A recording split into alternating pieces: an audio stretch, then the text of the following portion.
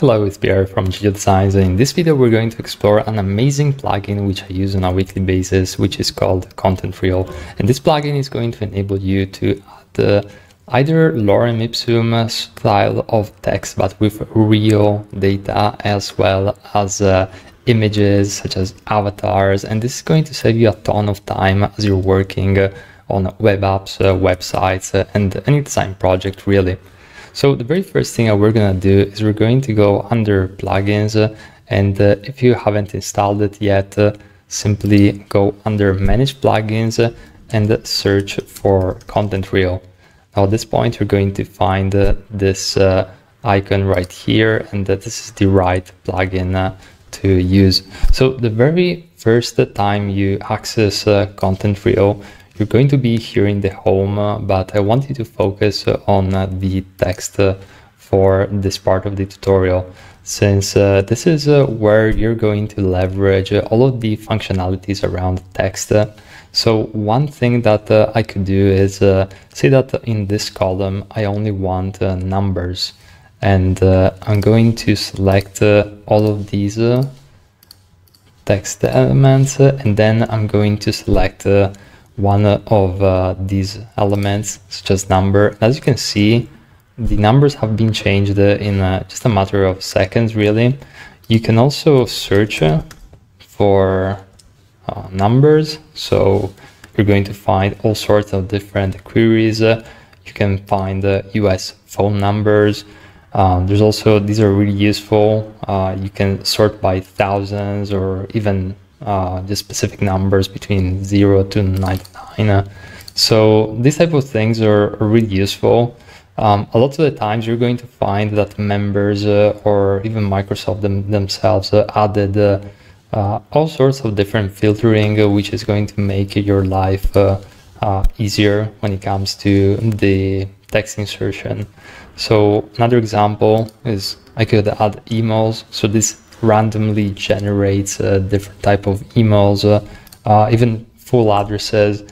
You kind of get the gist by now. So Content Reel is going to enable you to add content uh, and uh, really make your websites and apps uh, look uh, more like the real thing. Now, another way that you can use Content Reel is by using this feature image. So for the very most part, I use it uh, for avatars.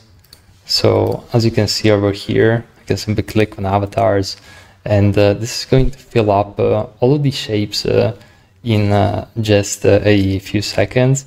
Another really useful use of Content Reel is the logos. And as you can see right here, have all sorts of different logos. Now, this hasn't this doesn't necessarily need to be random. So you can actually see which type of logos uh, they're adding. And you can uh, even be quite uh, uh precise with the selection simply because you can uh, select uh, an element one by one and just add the specific logo that you prefer. And you can even select multiple elements and add the same logo. And this applies also for the text. So it's not a, a, randomized action. You can literally go over here and uh, see, for example, what type of emails they're using. And maybe I want a shorter one compared to a longer one. So you can simply select this uh, and I'm good to go. So my best recommendation is to just explore this uh, plugin because uh, it can really be a, a huge time saver. I know it has been for me and uh, you can also add the custom uh, text and uh, there's also the icons but honestly I don't really use them um, at all usually when it comes to to the icons I go with either uh, Nucleo icons uh, or noun project. Uh, the good thing about Nucleo icon is that there is an app where you can add any sort of library that you want.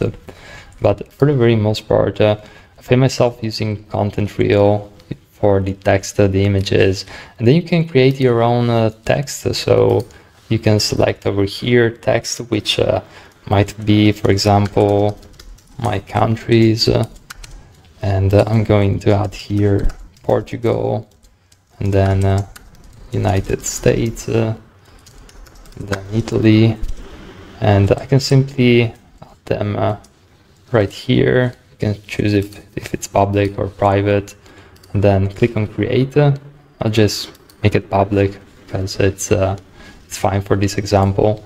And then uh, I can go over here under text, click on my countries. As you can see, it randomly sampled from that list uh, which uh, I created myself. And again, you can even go into the these countries, you can edit the content. I'm probably going to delete it after this video. I just wanted to show you uh, what uh, a uh, what you can really do and the limits that you can uh, push this uh, amazing plugin.